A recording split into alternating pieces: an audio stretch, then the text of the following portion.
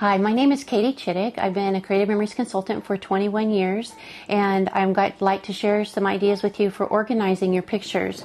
This is called a power sort box. One of the best things about the power sort box is the lid can't come off. It has little elastic straps that hold the lid on. Then on the inside of the lid, there's a large pocket for holding larger items then the box itself actually will hold up to 2,400 pictures, 200 pictures in each of these 12 uh, compartments, and the compartments are removable. You can take them out and work with one at a time.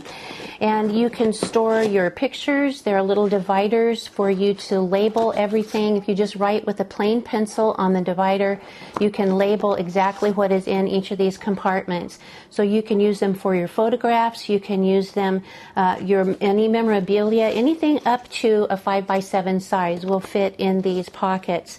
You can also uh, store CDs with your pictures on them. I have CDs that have been backed up from the our memory manager program, which is also an excellent way to organize your digital photos or scanned in photos. And I have backed that up to CDs. So I have my CDs in here.